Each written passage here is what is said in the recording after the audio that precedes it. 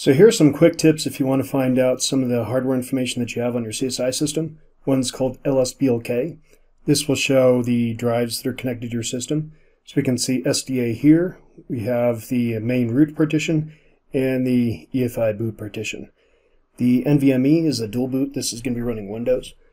So this specific system is running, again, two OSs. Another one you can run is list hardware. I'm going to go more, so that'll um, stop on the main screen. You do need to run sudo with this. As we can see, this is going to be running a GF63 thin, um, it's an MSI laptop, and it does show information related to the amount of RAM it has. So for example, it does have 40 gig. Uh, first slot is going to be 8 gig. Second slot is going to be 32 gig. If you scroll down a little bit further, you can even see some of the information related to the drives.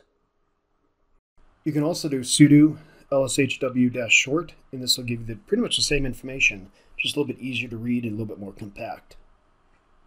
If you'd like the main information, you could also do lshw-html, and that's just going to put it into an HTML format.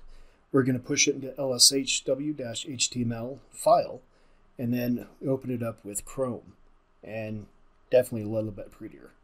So a few different ways to be able to identify what hardware you're running on your system especially if you need some drivers. If you do need to install drivers, you can use sudo space ubuntu dash drivers space devices. This will list the drivers that you need that are outside the bounds of the normal uh, Ubuntu distro. And then all you'd have to do to auto install them would be sudo space ubuntu dash drivers space auto install.